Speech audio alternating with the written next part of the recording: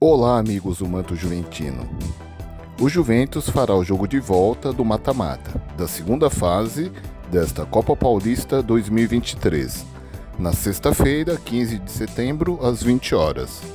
Enfrentará o 15 de Piracicaba no Estádio Municipal Barão da Serra Negra.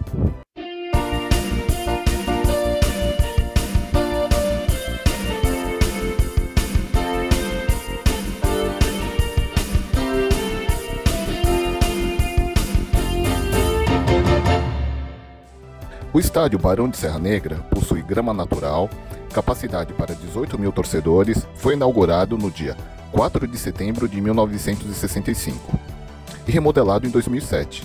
O recorde de público foi de 27.100 torcedores, no dia 20 de novembro de 1983, na partida 15-3, Bandeirante 2.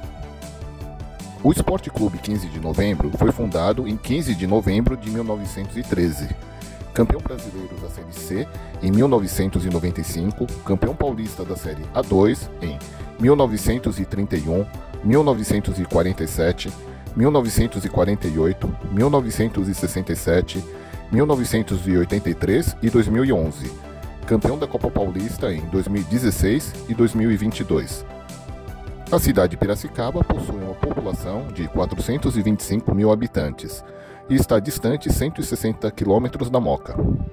O Juventus necessita de uma vitória por três gols de diferença para avançar à próxima fase, já que no jogo de ida foi derrotado em casa por 2 a 0.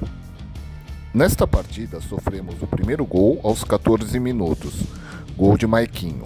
Aos 30 da primeira etapa ficamos com um jogador a menos. Danielzinho levou o segundo cartão amarelo e foi expulso. Aos 17 do segundo tempo, Maiquinho marca novamente, dando números finais à partida.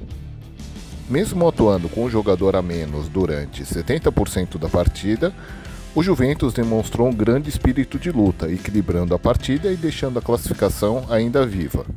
Os sonhos e esperanças grenás passam pelo professor Jorge Luiz da Silva, o Jorginho e seus comandados. André Dias, goleiro, capitão, responsável por grandes defesas.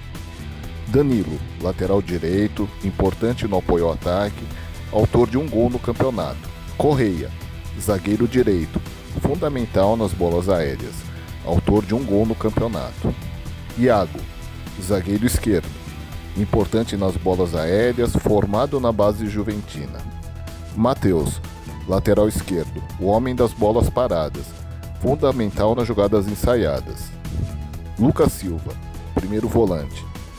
Força na proteção à zaga e importante no rebote ofensivo, autor de um gol.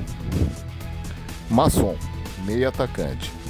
Jogador de habilidade e criatividade, autor de um gol no campeonato, formado na base juventina.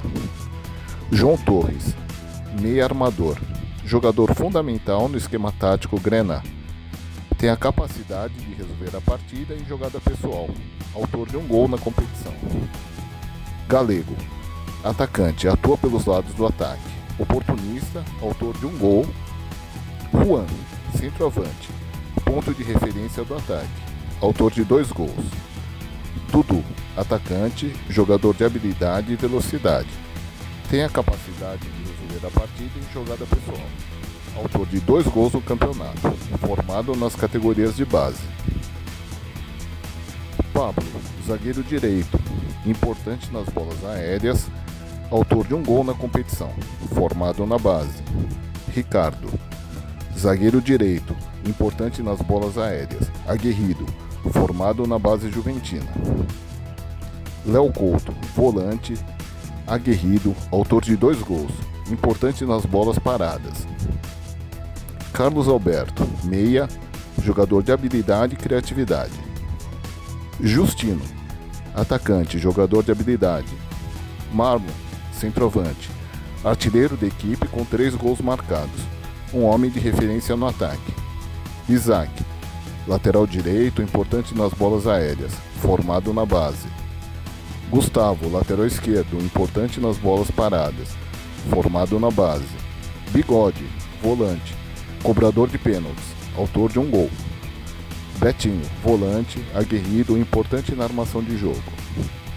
Juventus e 15 já se enfrentaram 95 vezes, com 42 vitórias grenás, 23 empates e 30 derrotas, 130 gols marcados e 119 gols sofridos. O primeiro confronto foi no dia 24 de julho de 1949, pelo Campeonato Paulista Série A1, goleada juventina por 4 a 2, na Javari. Compartilhem este vídeo, curtam e nos sigam nas redes sociais.